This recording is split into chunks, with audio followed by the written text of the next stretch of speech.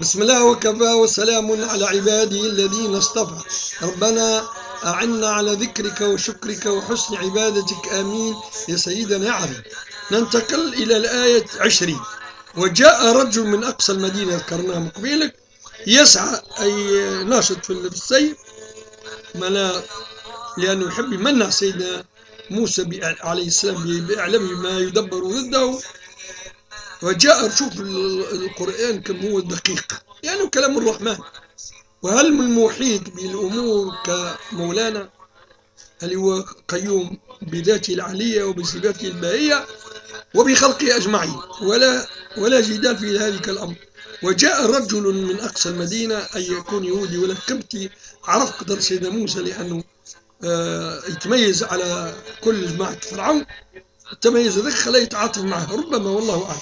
وجاء رجل من أقصى المدينة يسعى أي ناشط في سيره حتى يسرع بإخبار سيدنا موسى عليه السلام. شو هنا فكرة اللي تسرع ب تعطي تدل لالارم très rapide. هناك لا وجاء شوف القصص القرآن كتاب القصص القرآن يخير من أي سيناريو تفرجوا فيه ولا تسمعوا في الإذاعات ولا تقرأوا في الكتب والمجلات. وجاء رجل من أقصى المدينة إحنا قلنا القصص القرآني لا يضاهي أي قصص.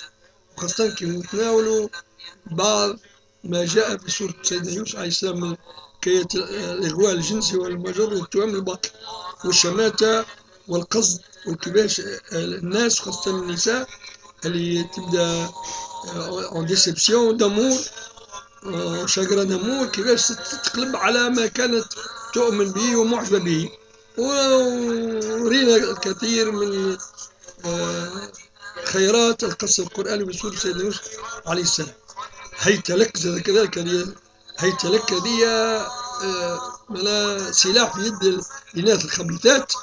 يعني إذا كان حابة تسقط إنسان وتهبطه من برجه العالي في الأخلاق السامية وكذا تعمل كل ما في وسعها أو ظهرت أو غابت أو عرات أو مالت أو مميلات وهلم كما قال سيدنا عليه الصلاة والسلام الذي لا يقول إلا حق وهو الصادق الأمين.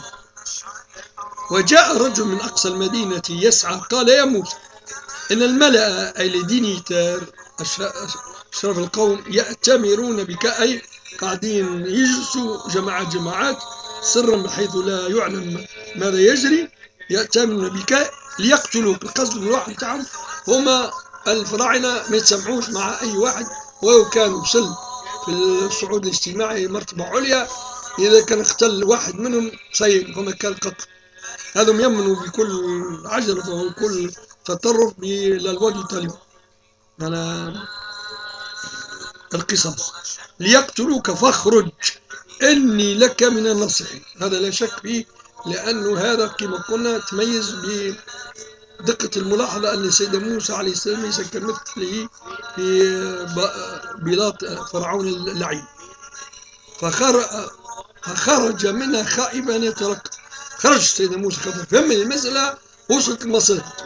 ولات حياته برياء والأنبياء عليهم السلام وهم أنبياء هيأهم ربي باش يتموا الرسالة ولهذا من الطبيعي أن يسرى بالهروب ممن يريد الفتك به وقتله. فخرج منها خائفا أي فلا سلطان الخوف هرب. يترقب كل لحظة يقول سيلحقون بي ويأخذونني ويقتلونني. فخرج منها خائفا يترقب. وهنا نقول إن شاء الله الشريط الآتي نكمل الآية الكريمة.